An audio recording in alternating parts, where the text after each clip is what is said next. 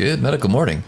Today, we're taking an educational look at warts, horns, pimples, and blisters.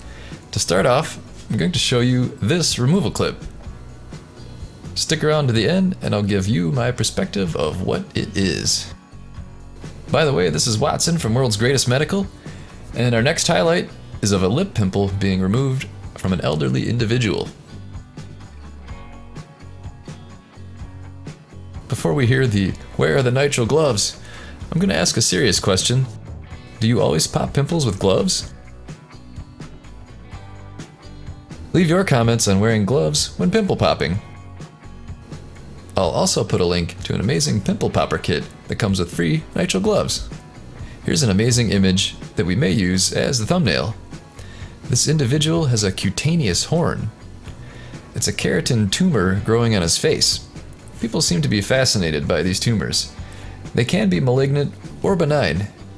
So we're hoping for benign and we wish him the best in his removal process.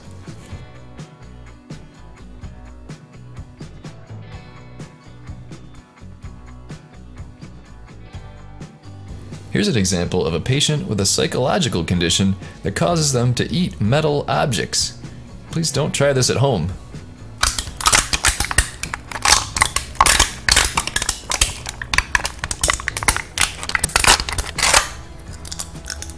By the way, can anyone name this character who tried to eat a Jeep to get out of Korea?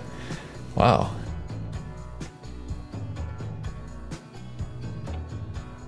Back to our original clip, leave your comments below. Do you agree that this is a wart removal? Thanks for watching. Hit that subscribe button and the notification bell so you can join us next time. Adios. Here is Karen Chen. Flying into this opening triple Lutz triple toe loop combination. Yeah. Hi everyone, this is Olympic figure skater Karen Chen. I'm saying hi to Team Thinergy. Um, but yeah, if there's one thing I know, it is about diet and exercise. So stay dedicated to your hard work, diet, and keep up with the great work. So I love you guys so much and good luck with everything.